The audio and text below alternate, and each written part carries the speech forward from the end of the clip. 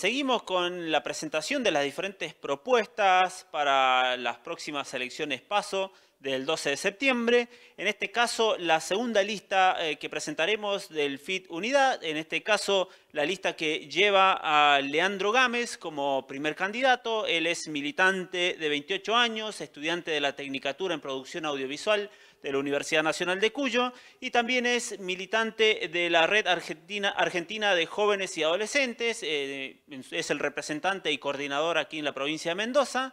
Y en segundo lugar a María Laura Tomé. María Laura Tomé es eh, una militante joven de 25 años, estudiante de diseño industrial y que es muy, muy comprometida y activista de la causa de Ni Una Menos, militante feminista. Así que en, este, en el siguiente video presentamos a los dos candidatos, candidata y candidato del FIT Unidad en la lista 501.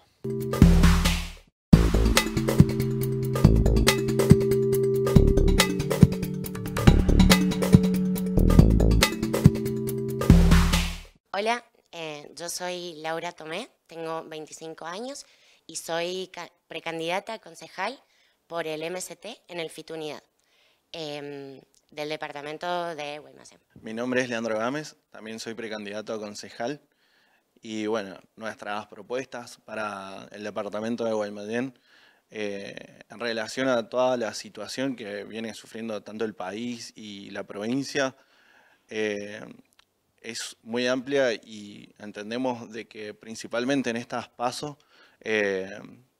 necesitamos renovar la izquierda y por eso en estas primarias eh, les pedimos que nos apoyen porque entendemos que la izquierda tiene una, que formar una tercera fuerza dentro de la política, tanto de Guaymallén y de Mendoza, y, eh, y desde el MST queremos democratizar aún más el FIT Unidad eh, con propuestas para toda la población y necesitamos que el Consejo Deliberante sea aún más abierto y que las políticas del municipio sean propuestas por el pueblo de Guaymallén, que hoy en día no, es, no sabe qué es lo que está pasando dentro de los consejos. Desde el MST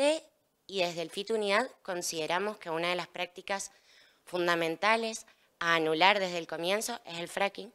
eh, considerando que Mendoza es una provincia en permanente crisis hídrica, desarrollar este tipo de prácticas no solo que contaminan la poca agua que tenemos, sino que además, como hemos visto en otras provincias, es pan para hoy y hambre para mañana, porque el trabajo y todas esas ganancias que se generan a partir de esa práctica extractivista y contaminante no suelen quedar para el pueblo. Em, Considerando esto, en Guaymallén es particularmente importante afianzar este no al fracking a través de una ordenanza municipal, que es lo que nos protege a nosotros como departamento de que quieran seguir avanzando con estas propuestas como han hecho en otras partes a través de las intendencias. El pueblo de Guaymallén tiene que saber que tiene el derecho de exigir esta ordenanza y de prohibir la actividad contaminante en el departamento. Ojalá podamos llegar a hacerlo en toda la provincia, pero por lo menos desde nuestro lugar nos comprometemos a que Guaymallén esté libre de fracking y que el agua que nos queda, tanto para la producción agrícola, que es muy grande en la zona, como para los ciudadanos, que ni siquiera todos tenemos acceso a agua potable, eh, sea realmente para quienes trabajan y viven en este departamento. También consideramos que la situación habitacional en Mendoza y en Guaymallén, por sobre todo, con la cantidad de habitantes que tiene, eh, es pésima. Eh, es mucha más la gente que se encuentra en situación de marginalidad y de pobreza y claramente sin vivienda y ni hablar sobre los recursos básicos como el agua, la electricidad o el gas. Eh, consideramos que no, no están habiendo políticas en Guaymallén para los ciudadanos y ciudadanas que, que por la crisis de la pandemia se ven aún más hundidas y hundidos en, la pobreza y en la marginalidad que, nos están llevando las políticas del mismo municipio. Venimos de años y años de, un municipio que desote a los ciudadanos eh, y, y así y todos los problemas de corrupción siguen quedando en la nada. O sea, hace poco se surgieron los casos de intendentes anteriores y, son situaciones que igualmente no, no se recuperan y no tienen retorno para los ciudadanos. Lo único que logramos ver como vecinos de Guaymallén es calles que se están arreglando hace años y que aún así no se terminan. O sea, no puede ser que los principales ingresos al departamento sigan cerrados eh, y, si no, los que quedan están colapsadísimos. Eh, entendemos que el pueblo tiene que tener mayor voz en el municipio, que tiene que tener una mayor participación y que el municipio tiene que estar más abierto a, las propuestas y a las demandas del pueblo, que, que Guaymallén es tan grande y tiene tanto eh, tanta exigencia, tanta demanda y, tiene, y genera tantas riquezas aún así que no sabemos en qué se están yendo. O sea, desde los consejos no sabemos en qué desvían los presupuestos y nosotros apuntamos a eso, a, poder ser más transparentes con todo lo que está pasando dentro de la, del municipio de Guaymallén y del consejo también. Em, el municipio de Guaymallén tiene una población joven que está creciendo permanentemente y mm, entre las políticas de este gobierno y del anterior,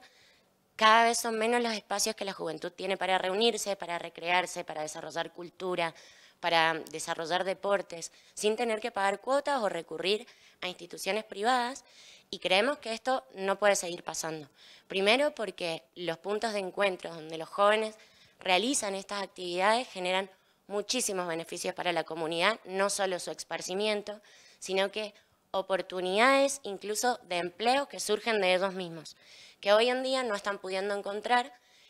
porque no tienen ese lugar.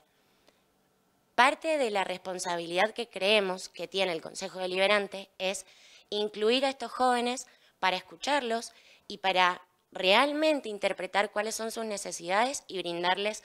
esos espacios que hoy en día no tienen. Em, el Consejo Deliberante es un lugar al que todos podemos acceder porque es nuestro derecho como ciudadanos. Y desde el MST proponemos que sea más abierto, que el ciudadano tenga acceso a saber en qué se gastan los presupuestos, que se le consulte antes de hacer obras públicas y que realmente hoy en día con todas las posibilidades tecnológicas que tenemos, consultar un voto, por ejemplo, para arreglar una calle o ampliar una avenida, no sería lo más difícil de hacer. Em, y bueno, creemos que esa es la vía por la que el Consejo Deliberante realmente empezaría a ser más funcional para los jóvenes y para todos los ciudadanos de Guaymallén. Insistimos que la crisis en el departamento y en la provincia, eh, que la vemos en la salud, en la educación y en el trabajo, en la juventud, en las disidencias y en las mujeres, eh, tiene que tener una vuelta y necesitan el acompañamiento de políticas reales en el departamento y en la provincia e incluso en el país estamos viviendo una situación desastrosa. La izquierda y desde el MST y en el Frente de Izquierda Unidad eh, proponemos renovar la izquierda y revolucionarla eh, para generar políticas concretas y reales y con propuestas, porque estamos realmente en las calles desde que empezó la campaña con todas nuestras propuestas, eh, llevándolas a cabo con todos los ciudadanos con los que nos cruzamos. Es necesario que nos apoyen con su voto, eh, tanto a, nivel municipal como provincial, junto a Marcia Marianetti como senadora nacional eh, y Nico Fernández como precandidato a diputado nacional. Eh, los invitamos a, a, integrar también nuestro espacio, a apoyarnos, a conocer más sobre nuestras propuestas en nuestras redes.